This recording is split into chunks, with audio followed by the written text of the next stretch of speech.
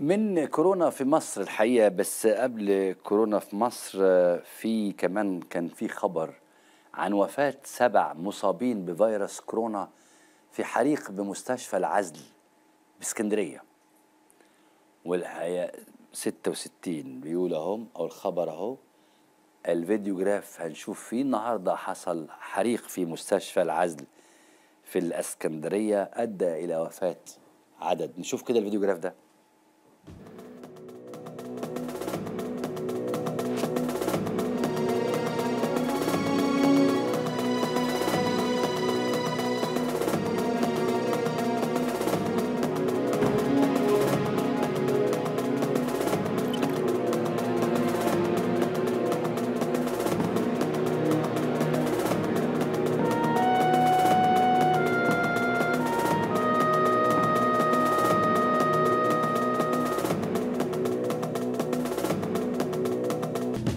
كل يوم بتتكشف كل يوم أكاذيب حكومة عبد الفتاح السيسي ونظامه حوالين كورونا والاستعدادات الكبيرة في المستشفيات لعلاج المرضى. وده اللي كشفه post كتبه أحد الأطباء.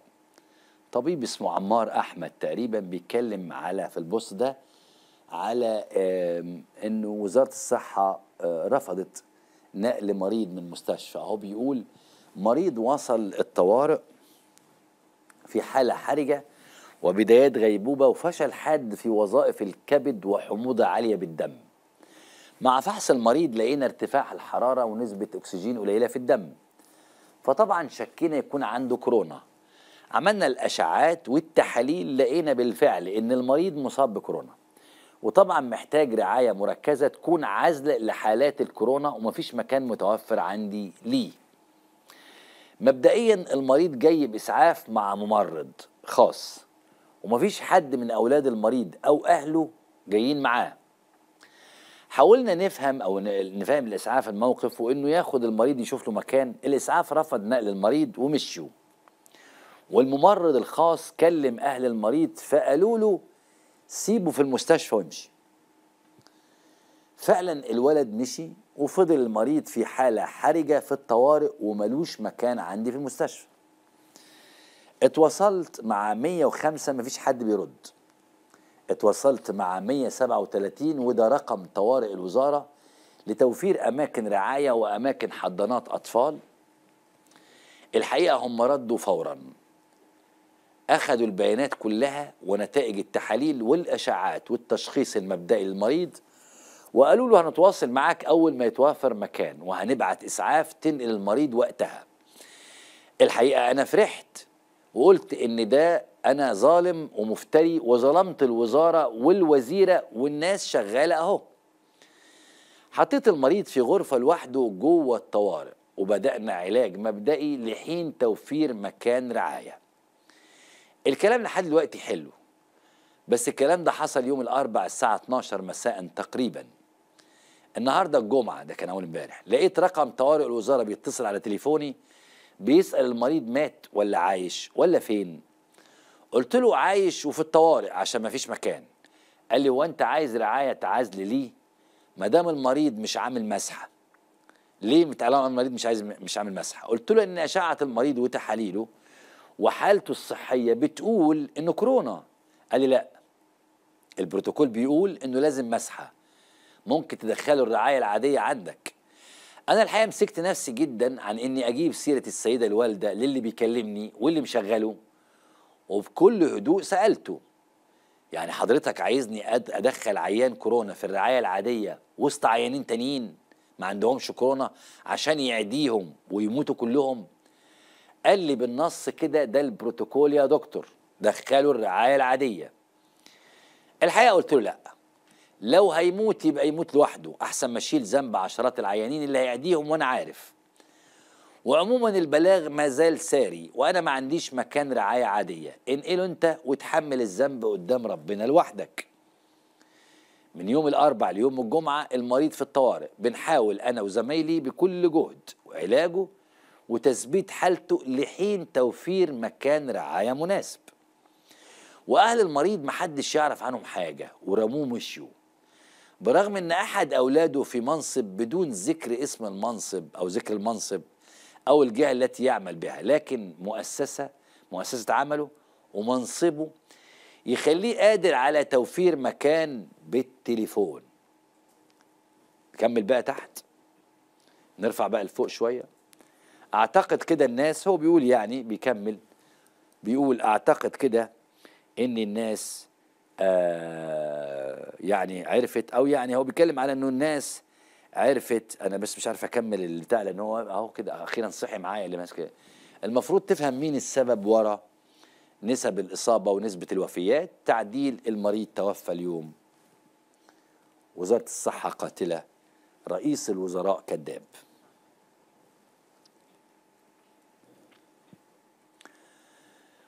وهم الأطباء الحقيقة اللي مش لاقيين مسحة تتعمل ليهم. كل يوم بيموت منهم أطباء. في الوقت اللي اللاعبين بيتعمل لهم مسحة واتنين كمان.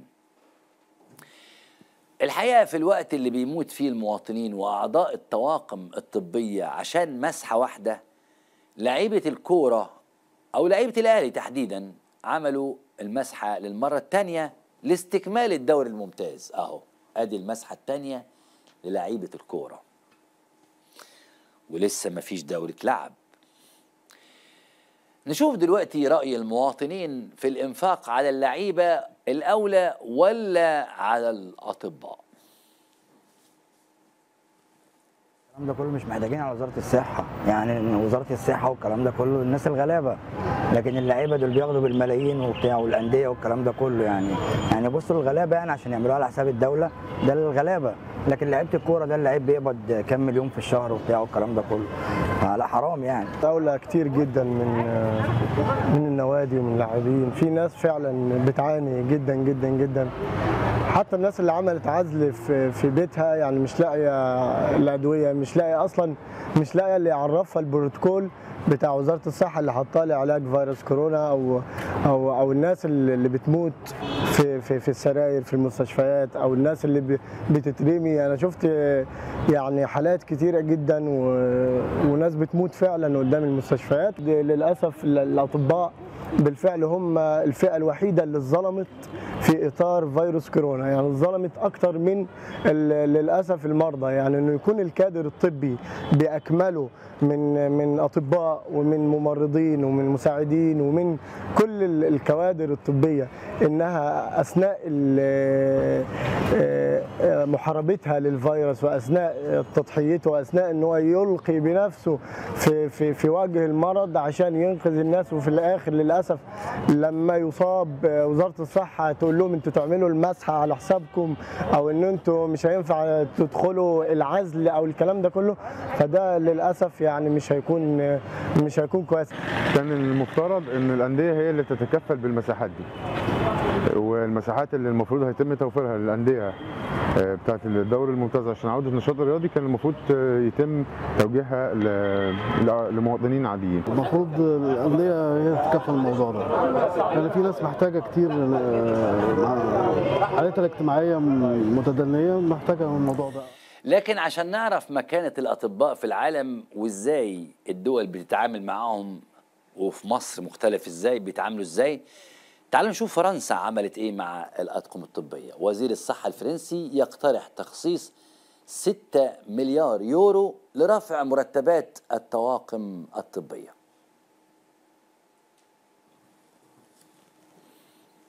وزير الصحة يقترح تخصيص 6 مليار يورو لرفع رواتب الأطقم الطبية. ما هي ناس ليها سيسي ترتر يعني. مش دي الكلمة اللي قالها عبد السلام النابلسي في فيلم شارع الحب إخراج عز الدين ذو الفقار وبطولة عبد الحليم وصباح. لما كان هيتجوز هو كريمة مثلا أو مش عارف اسمها إيه صباح. وعبد السلام النابلسي قال ناس ليها فلانة وناس ليها ترتر. على زينات صدقي. شوف الفرق بقى ناس ليها فرنسا 6 مليار وناس ليها ترتر عبد الفتاح السيسي. لكن يبدو إن الأطباء في مصر ما لهمش حظ غير اللي له واسطة بس زي وزيرة الصحة كده.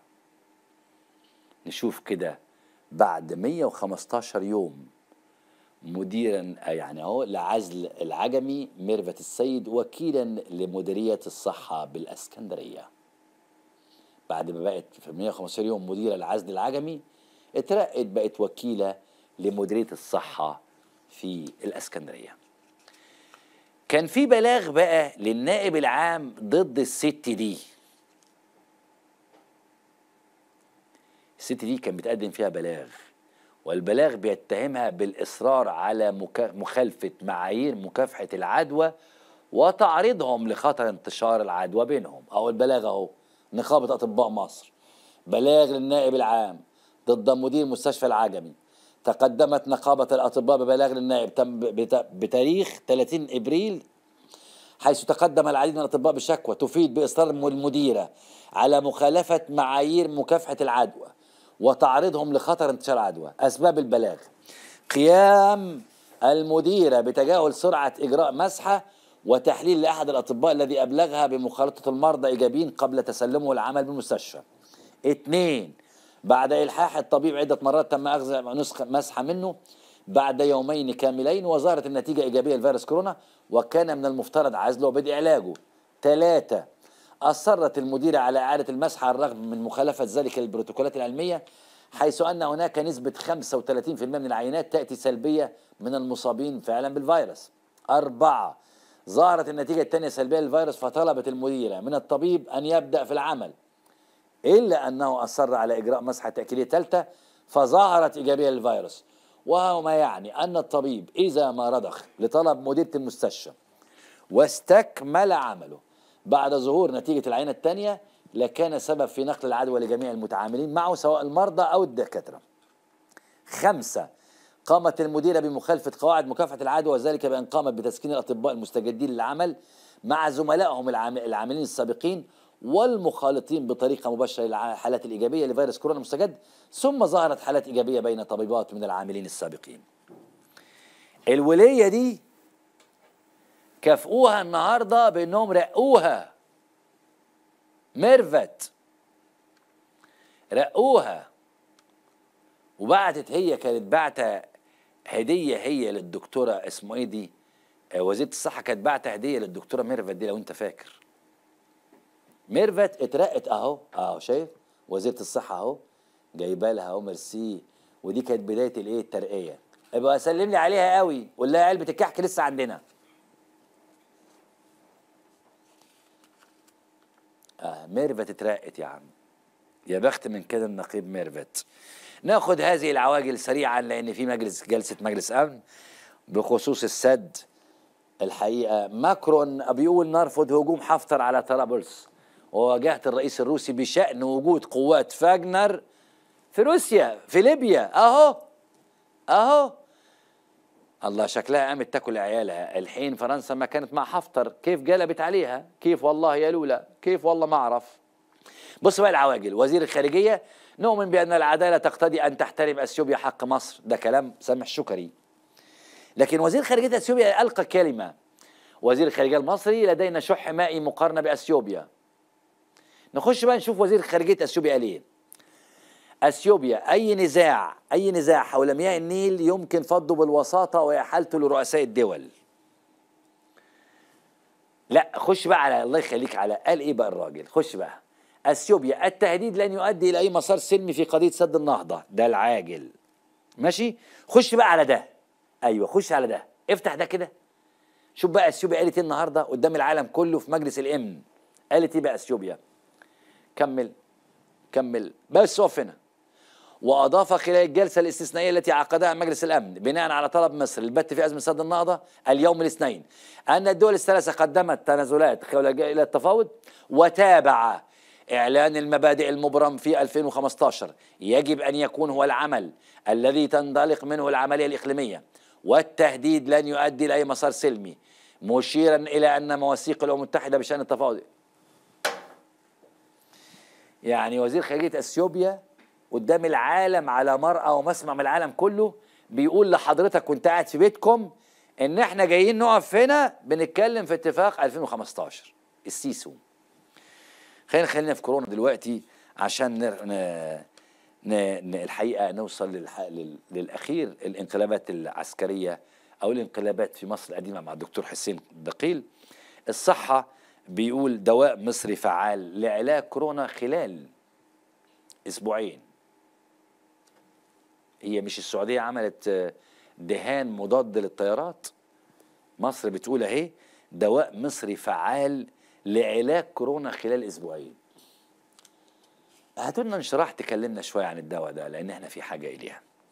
الدكتور إسلام عنان أستاذ علم انتشار الأوبئة راجل بيحل كلمات متقاطعة فقال لك أهو يكشف موعد انتهاء كورونا العالم كله مش عارف ولا عارف.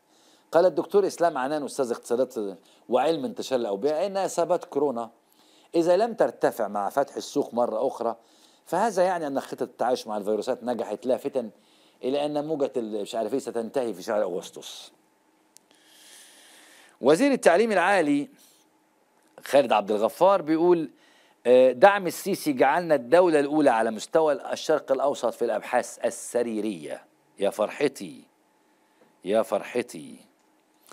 على كل حال بعد تأجيل مؤتمر الأطباء أمين عام نقابة الأطباء بيقول لا يمكن قبول وضع حواجز حول دار الحكمة والتضييق على أعضاء مجلس عند الدخول اللي النهارده بيشكر السيسي بيشكر حضرته الطواقم الطبية آدي الامين عام النقابة بيقول صعب جدا تحطوا لنا الحواجز الأسمنتية حوالين دار الحكمة. في الوقت اللي بيموت فيه المواطنين وأعضاء الطواقم الطبيه عشان مسحة واحدة كان زي ما قلت لك الأهلي بيعمل حاجات كتير جدا أهو وبيشتغل.